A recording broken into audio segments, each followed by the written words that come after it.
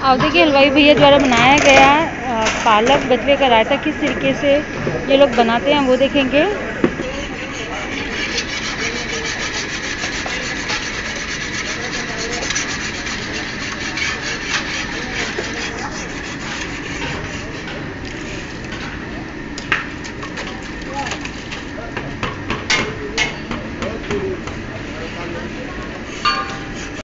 और अब हम रायते में डालेंगे। पालक बचवा जो पीस कर रखा हुआ था।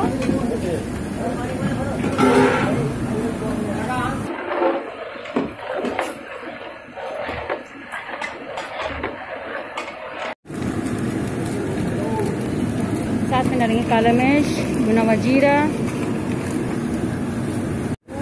और रायते में डाला है काला मिर्च, भुना हुआ जीरा। और साथ में डाला है। कलर नमक